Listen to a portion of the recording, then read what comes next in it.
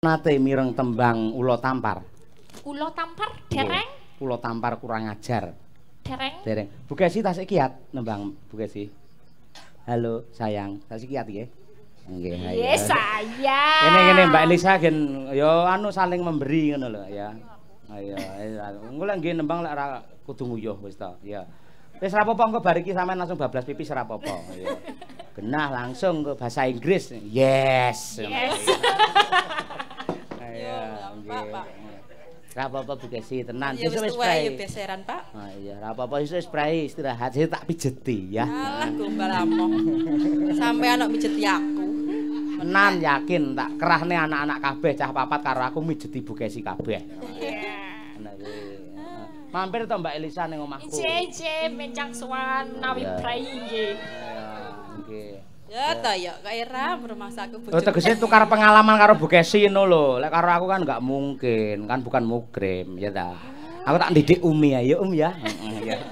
Alah kok anak-anak itu sasaran. Omah dhewe dheweke ke. Nggo sasaran kok anake Umi. Ya, Ora ora Bu Kesi, tenang. Wis, pokoke tenang tapi menghanyutkan, ya. Bawani ya Bu Kesi ya. Nah, mumpung nah sik kuwate.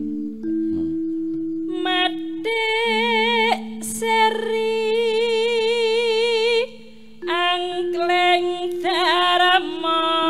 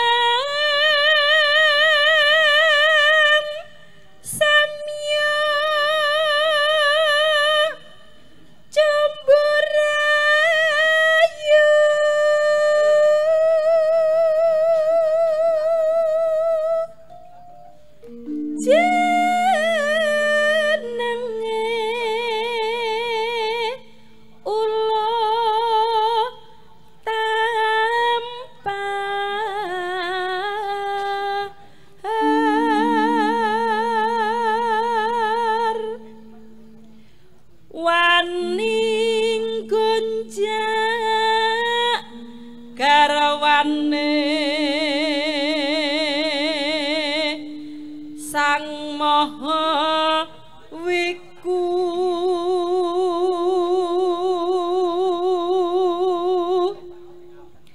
Anengge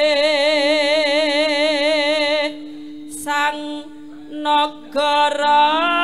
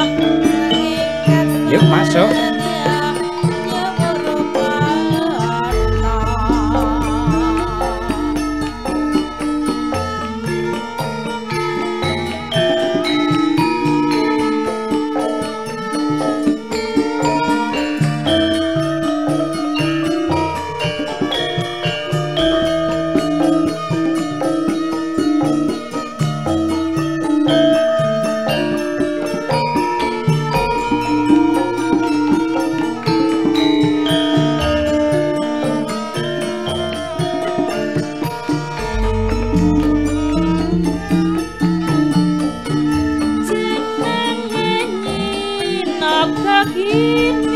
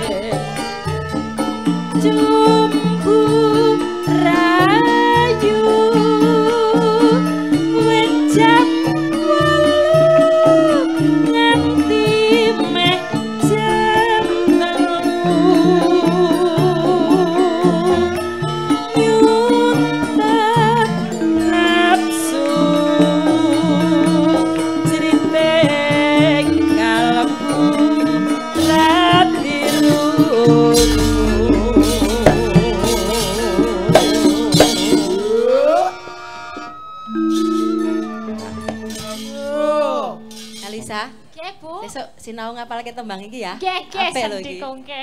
Sae. Suka. Nggih, karyane sinten? Iki karyane sinten? Bapak iki lho. Oh, Suwondo. Suwondo. sae-sae. Jadi langgam ulo tampar, sesideman, sambung wanci dalu, Sri Huning kuwi ingkang ripta bapake Pak Cahya Kuntadi. nggih. Ya kuwi Mbah Haji Sakrun Suwondo. Ya, Ya. marang tuane ngawur ta. Sukron. Suwondo. Sukron. Nggih, Bu. Sakrun ora. Yo. Konangan